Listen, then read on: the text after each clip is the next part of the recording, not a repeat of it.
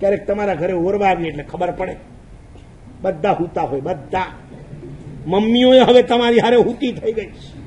સાત સાત વાગ્યા સુધી હવે મમ્મીઓ નથી ઉઠતી અચાનક એક વખત અમારે જવાનું થયું ગોછવી ઓરવા સવારે સાત વાગે. જેવો દરવાજો ખોલ્યો, ઓલા બેન આવ્યા, તપેરી લઈને.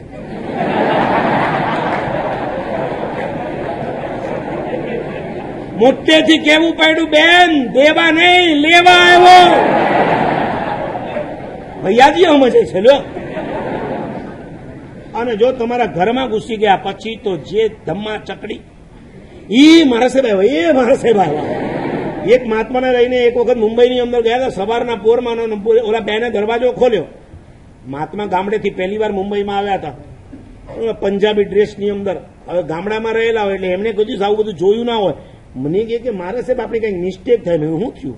આપણે કોઈ પંજાબીના ઘરમાં આવી ગયા લાગે હું શાંતિ રાખો, આ જૈનનું ઘર. પણ મેં કહ્યું કાંઈ બોલવાનું નહીં, તમે બગબગ નહીં કરો. શાનું માનું તમારે જે ખાખરાનું દૂધ ઓરવાનું એ લઈને રવાના. ઓલા બેન તો રાજી થઈ ગયા કે મારા સાહેબ કેટલા દિવસે આપણા ઘરમાં પગલા કરવા હાલો, બધાને લાભ અપાવે. એટલે અંદર ગયા. આ વી પચીસ વર્ષ પહેલાની વાત કરું છું. ભાઈને ઉઠાડી લાવ્યા. ભાઈ લુંગી સરખી કરતો કરતો. હવે ઓલા મારાથી પાછું મને કહે કે, આ ચૂપ.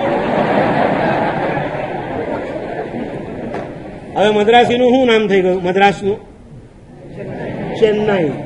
સ્કૂલમાં છોકરાને સરે પૂછ્યું, ચેન્નાઈ કેમ કે? તો કે એની લુંગીમાં ચેન ના હોય એટલે એને ચેન્નાઈ.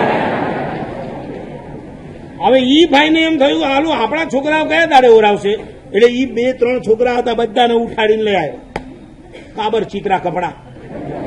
એટલે આ મહારાજ કે આલુ આ મદ્રાસી નહીં પંજાબી નહીં, આ કોણ છે? મેં કીધું સાંભળો આ પંજાબી નથી, આ મદ્રાસી નથી, આ મદારીનું ઘર છે મહાત્મા, પધારે ત્યાં સુધી તમે ઊંઘતા રહ્યો, તમે સુપાત્ર દાનથી વંચિત રહેશો કે નહીં? તમારા ઘરે આવીને મહાત્માને ઠકઠકાવીને પાછા જાય, પછી તમને કોઈ પનિશમેન્ટ અપાય ખરી અમારે? આંગણે આવેલા મહાત્મા, અરે મહેમાન, અરે અજાણ્યો અતિથિ આપણે ત્યાં આવીને પાછો નતો જતો. અને આખા મહાત્મા તમારા ઘરના દરવાજા બંધ જોઈને પાછા ચાલ્યા સેવ ધ ટાઈમ તમારી ઊંઘને દૂર કરો. કેટલો સમય ઊંઘમાં?